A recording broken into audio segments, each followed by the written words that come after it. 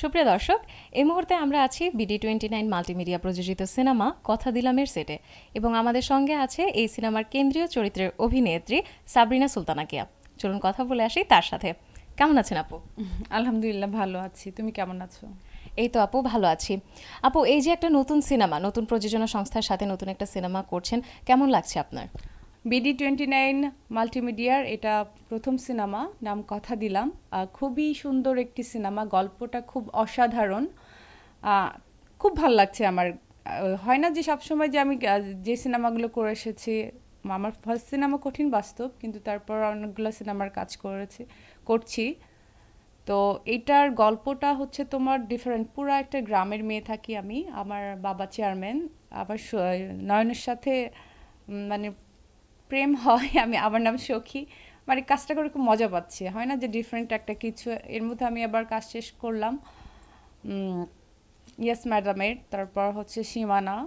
তারপর বনলতার কাজ চলতেছে। কিন্তু সেই গল্পগুলা অন্যরকম ছিল। যেমন ইয়েস ম্যাডাম ছিল পুরা একটা তোমার অ্যাকশন পুরা মানে পুলিশ অফিসারের যে ইয়েটা থাকি এসপি থাকি আমি, ওটা ছিল একদম ডিফারেন্ট কিন্তু সেটা থেকে আবার এটা আরেক আরেকটা অন্য ধাঁচের সিনেমা গ্রাম্য পটভূমিতে মানে খুবই সুন্দর ভালো লাগছে কাজ করতে।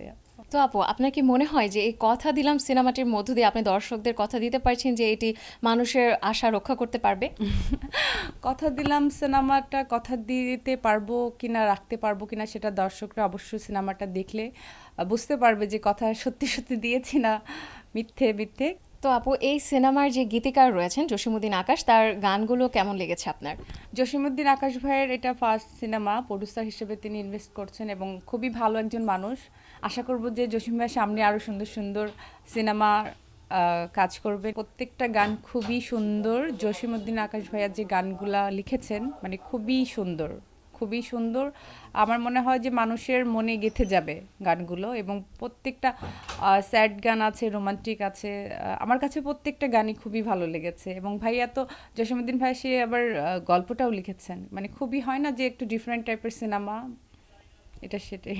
ওকে তো আপু আমরা দেখছিলাম সেটে কিন্তু অনেক নতুন আর্টিস্ট রয়েছে এবং অনেক সিনিয়র আর্টিস্টরাও রয়েছে।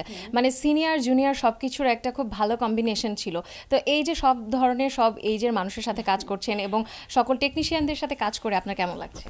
আসলে এখানে কাজ করে আমার খুবই ভালো লাগছে। সবাই খুব কোঅপারেটিভ এবং আমরা যে কাজ করছি আমাদের কাজের যে সবাই সবাইকে হেল্প করা এবং প্রত্যেককে তোমার হচ্ছে মানে সবাই মানে কাউকে মানে বাদ দেওয়ার মতো না আমরা একটা ফ্যামিলির মতো কাজ করছি খুবই ভালো লাগছে এবং সবই খুব কেয়ারিং এবং সবাই খুবই ভালো। তো আপু এই সিনেমাতে আমরা দেখলাম যে অনেক নতুন আর্টিস্ট রয়েছে এবং অনেক সিনিয়র আর্টিস্টরা রয়েছে। তো সব ধরনের আর্টিস্টের একটা কম্বিনেশন তো সবার সাথে কাজ করে এবং এই যে যত টেকনিশিয়ান রয়েছে সবার সাথে কাজ করে আপনার কেমন লাগছে?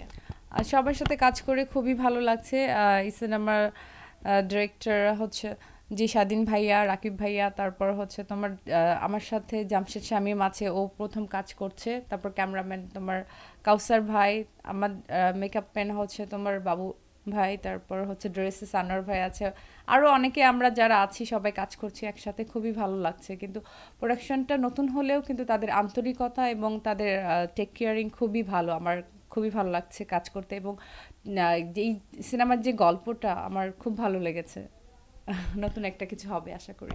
অবশ্যই খুব ভালো কিছুই একটা হবে। আর যখন সবাই মিলে টিম হয়ে একটা কাজ করা হয় সেটাতে অবশ্যই একটা ভালো ফিডব্যাক আসে। সো আপু এখন আমাদের দর্শকদের জন্য কিছু বলেন। দর্শকদেরকে বলব যে আপনারা সিনেমা দেখবেন। আর দর্শকদের জন্য অবশ্যই কষ্ট করে কাজ করছি। অবশ্যই তারা সিনেমা দেখবে এবং তারা যদি সিনেমা না দেখে তাহলে যে আমরা রোদ বৃষ্টি সব কিছু মিলে যে কষ্ট করে কাজ করি এই যে আজকে আবার গেট আপ বিয়ের গেট আপ নিয়ে আছি, গরম কত গরম তার মধ্যেও কাজ করছি। তারা যদি সিনেমা না দেখে তাহলে আমাদের খুব মানে কষ্ট লাগে। আমরা অনেক কষ্ট করে কাজ করি, আপনাদের জন্যই করি। অবশ্যই আপনারা সিনেমা হলে গিয়ে সিনেমা দেখবেন এবং দোয়া করবেন সামনে আপনাদের জন্য আরও সুন্দর সুন্দর সিনেমা উপহার দিতে পারি।